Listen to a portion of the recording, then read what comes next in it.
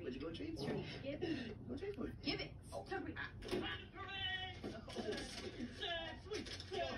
Yo, Give me that.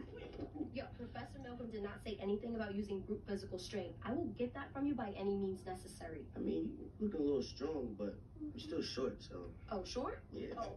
Yo, stop. Come on. Chill. Chill. Yo, stop. stop. Yo, chill. Chill. Sure? Oh, oh. Chill, chill. Oh my god, what are you doing? I just want you to be able to see yourself.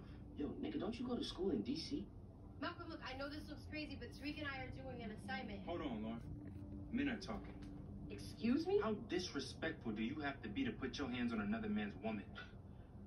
Yo, get your nigga before he get himself hurt. I'm not a nigga, and I would expect an educated black man to know better. Malcolm, stop. Tariq, can you just go and we'll deal with this later? please. Yeah, herpes something. Later, Laura. Later, nigga.